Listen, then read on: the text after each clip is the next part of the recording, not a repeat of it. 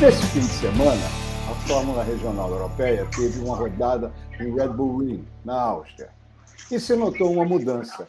O brasileiro Gabriel Bortoleto, que normalmente frequentava a segunda metade do grid, deu um salto enorme.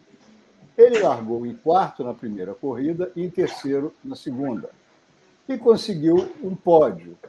Gabriel está na Áustria, mas vai falar conosco agora para nos contar em detalhes como foi esse fim de semana. Bem-vindo, Gabriel. Fala, Lito. Fala, pessoal. Bom, primeiramente, um prazer estar aqui com vocês de novo. Foi um final de semana muito legal, melhor final de semana do ano, melhor final de semana da equipe também. É, meu primeiro pódio na Fórmula Regional, é, meus melhores qualifies, então para mim foi melhor impossível para esse final de semana tudo começou nos treinos, a gente já estava indo muito bem, eu sabia que podia ser um final de semana positivo. Fomos para o quali, fizemos ótimos resultados e nas corridas estávamos pegando pódio também. Mas o que mudou, Gabriel? Eu acredito que durante todo o final de semana, assim, a gente estava lutando sempre pelo top 5, top 6, assim. Então, eu sabia que o carro tinha potencial para estar tá ali no top 5. Então eu falei assim, cara, não adianta eu dar mais do que realmente o carro aguenta, porque acaba errando, rodando, batendo. Então fiz o meu máximo, com certeza, mas sem passar do limite e acabou dando tudo certo. É, acabou que eu tava bem tranquilo, acabou que eu fiquei, cara, fiz os quales, falei assim, tá, agora é só fazer as largadinhas e me manter na corrida, tentar fazer uma ultrapassagem ou outra, mas a gente sabe que nesses carros são bem difíceis.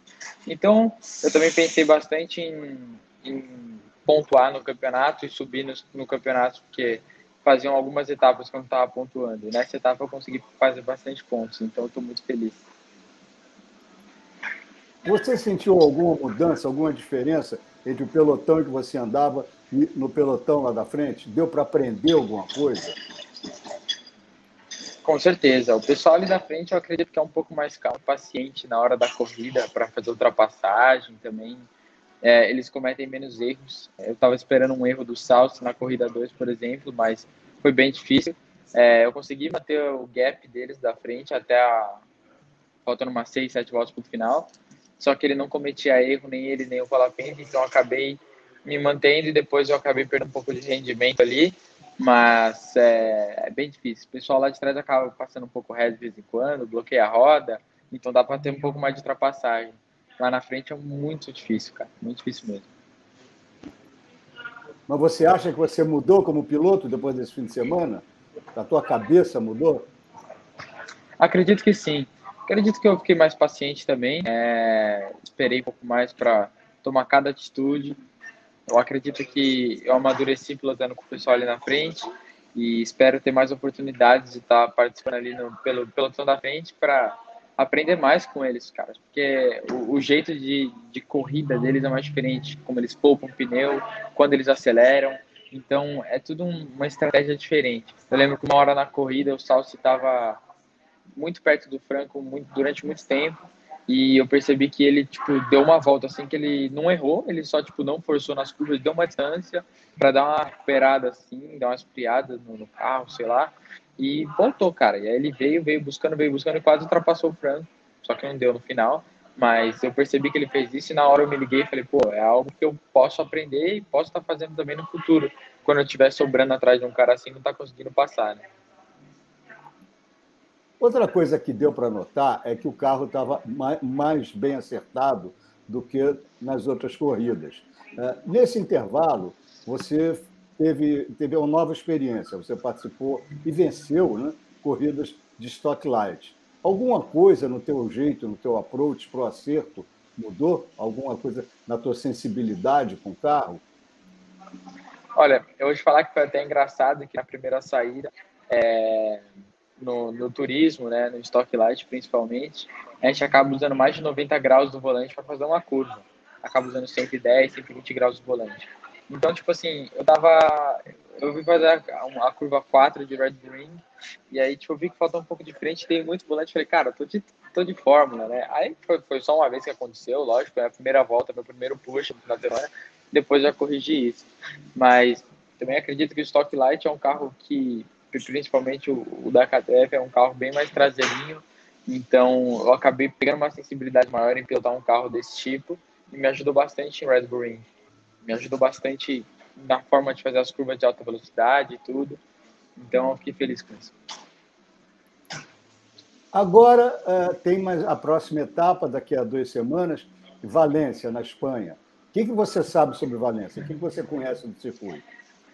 Para te falar a verdade, eu nunca pilotei lá. É uma pista que eu nunca tive na vida real. Já ouvi falar muito bem dela.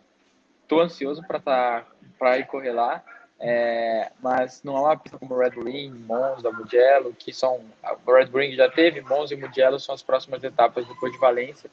Então, eu já conheço. Valência não, então vou fazer um trabalho bem forte no simulador para estar tá fazendo um bom resultado lá também. É, como é que você acha, como é que você é, prevê que vai ser lá? Teu relacionamento com o engenheiro, como você acha que vai ser? Olha, eu acredito que a cada corrida que a gente faz, né, a gente tem mais intimidade com o pessoal da equipe, ainda mais depois de um pódio desse, o pessoal está muito animado e quer mais, entendeu? Por ter sido o primeiro pódio da, da FA na, na, na Fórmula 3 regional. Então, eles estão bastante confiantes, eu acredito que eles possam até me ouvir mais do que já estavam ouvindo. E está trabalhando mais essa parte de acerto de carro, o meu acerto como pilotagem, que sempre tem onde melhorar também. Então, acredito que são os pontos que, que a equipe pode pegar bem pesado assim, né?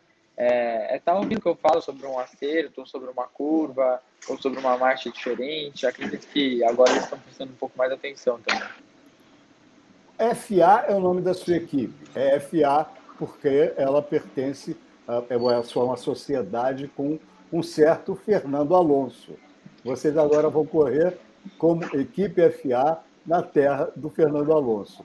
Isso muda alguma coisa? Isso tem algum peso?